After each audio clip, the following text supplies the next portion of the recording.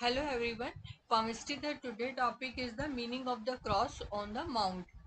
If we found the cross on the mount of Jupiter, this one is called Jupiter mount.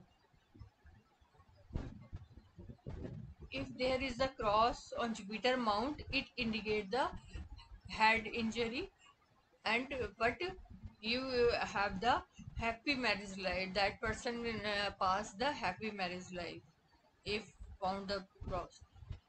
The next is if found a cross on the mount of Saturn. This one is called Saturn. Saturn mount. If the cross on the Saturn mount, it give the ill health. Whether you got problem, got some health issue, or sometime you have the uh, tendency to the murderers. If there is any types of cross in Saturn mount. The next one is the if cross found in the sun mount.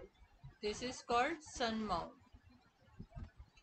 If the cross in the sun mount, it it show the mental setback. Is mental setbacks due to the failure or uh, ruin the success and fame and it also give the depression because of the going failures and failure again and again. So that also give the depression also or sometimes it give the setback. So this is the topic. Thank you